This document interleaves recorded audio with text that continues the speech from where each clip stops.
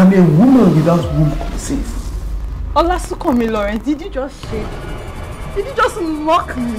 I must say I'm the luckiest man on earth. Yeah, for having such a wonderful woman like you. And thanks to God that I listened to my mother. fún mi nífẹ̀ẹ́ ọkàn rẹ. ìfẹ́ ojú mi ẹ̀tàn ni.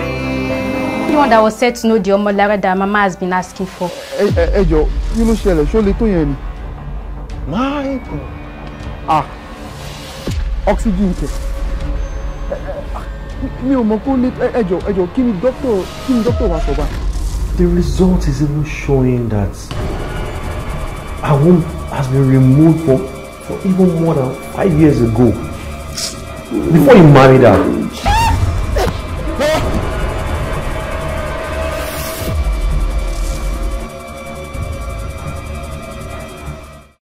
You want to use a cutlass on me?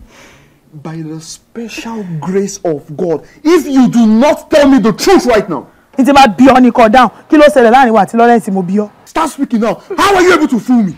ẹ ahọ́n àti ẹnu gan wọ́n ń jà. Ààrẹ májà kan ò sí.